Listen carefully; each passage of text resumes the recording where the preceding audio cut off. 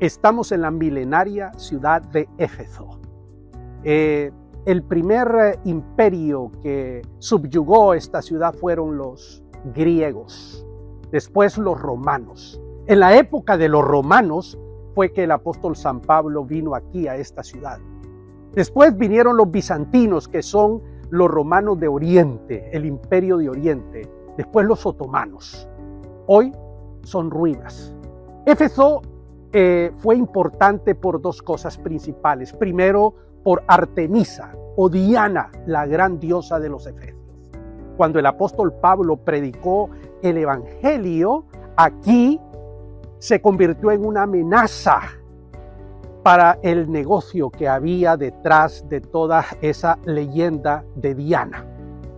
Ahí en el templo de esta diosa había un centro con mil prostitutas donde se practicaba la prostitución sagrada, el tema de la fertilidad y ese tipo de detalles.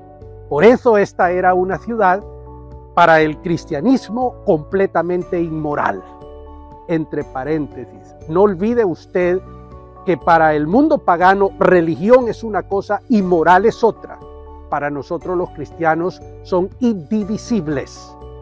Luego teníamos el culto del emperador. Aquí se adoraba a Adriano. Hay un templo a, Adriano, que era el dios. Y se obligaba a las personas a adorar al emperador. Es lo que se llama el culto al emperador.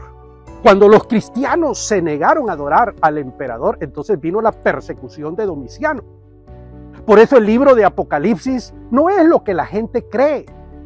El libro de Apocalipsis es un libro con una teología política subversiva completamente, porque los romanos decían que el Kyrios, que Dios era el emperador. Entonces el escritor de Apocalipsis dice no, dice no. Jesucristo es el rey de reyes, el Kyrios de todo cualquier otro Kirio. Es una cachetada al emperador. Cuando dice el que está sentado en el trono, el que era, el que es, el que será. E, e, es un libro contrario a toda la filosofía, a toda la religión del emperador. El cristianismo, mis amigos, ha sido eso siempre, una contracultura, un mensaje antimundo, antirreligión mundana.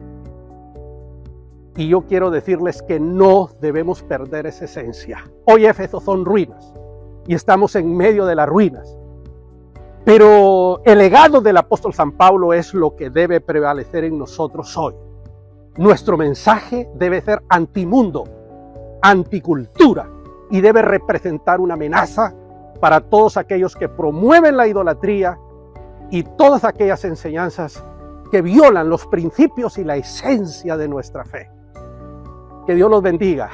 Seguiremos en este peregrinaje. Muy amables.